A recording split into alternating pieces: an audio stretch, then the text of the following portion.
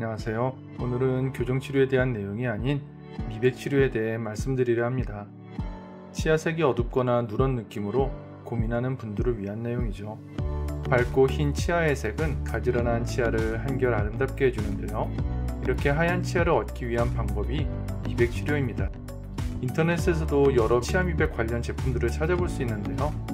이런 제품들은 효과를 제대로 얻기 어려운 경우가 대부분입니다. 미백 치료를 효과적으로 받기 위해서는 가까운 치과를 방문하셔서 상담 받아보시기를 권해드립니다. 치과에서 받는 미백 치료에는 크게 두 가지 방법이 있는데요. 약품과 함께 치아에 광선을 쬐어 빠른 시간 내에 효과를 얻는 전문가 미백 또는 영어로 인어피스 블리칭이라 불리는 급속 미백과 집에서 취침 시에 진행하는 영어로 홈 블리칭이라 하는 자가 미백이 있습니다. 그 중에서 오늘은 자가미백에 대해서 말씀드려 보겠습니다. 자가미백은 비교적 저농도의 약품으로 2에서 3주에 걸쳐 진행하며 급속 미백에 비해 그 효과가 좋고 오래 지속되는 장점이 있습니다. 급속 미백을 하더라도 자가 미백을 병행해야 좋은 결과를 얻게 됩니다. 자가 미백은 야간 취침 시간에 진행합니다. 미백 전에 치아들을 깨끗하게 닦아주는 게 좋겠죠. 치과에서 받은 장치 안쪽에 미백제를 조금씩 치아 위치마다 넣어줍니다. 너무 많이 넣으면 장치 착용 시에 약품이 장치 밖으로 밀려나오게 되고 과량을 사용해도 효과가 더 좋은 것은 아니므로 적정량을 이용하는 것이 좋겠습니다. 보통 한 개의 시린지로 일주일 정도 사용하게 됩니다. 미백제를 넣은 장치를 구황 내에 착용해 주세요. 착용하면서 장치 밖으로 빠져나온 미백제가 있다면 면봉이나 거즈로 닦아주세요. 착용 시간은 하루에 6시간 이상이 좋고 주무실 때 착용하시면 됩니다.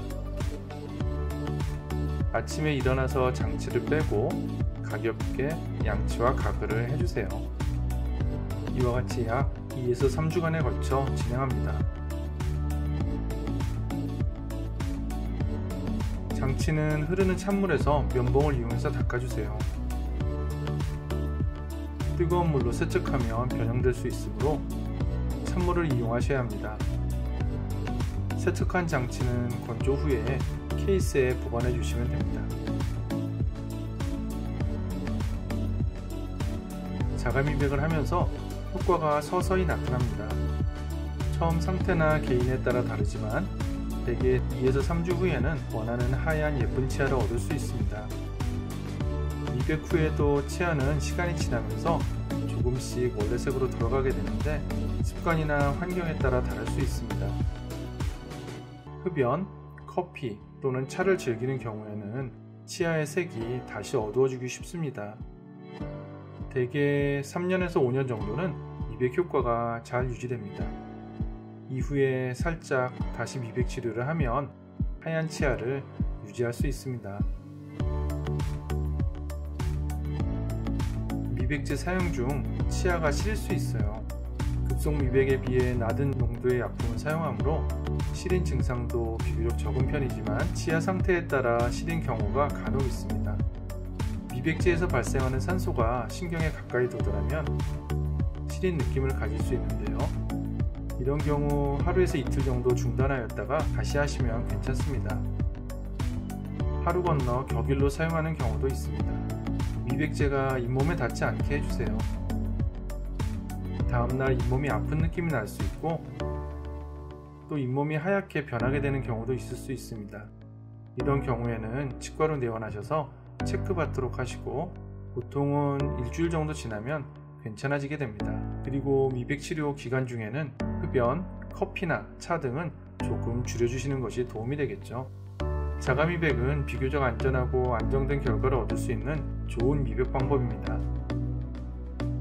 교정 치료를 마치고 미백 치료를 통해 더욱 예쁜 치아를 얻을 수 있습니다. 치아색이 희지 않은 분들의 경우 추천드리며 치과에서 상담 받으실 수 있습니다. 오늘도 좋은 하루 예쁜 미소와 함께 하세요.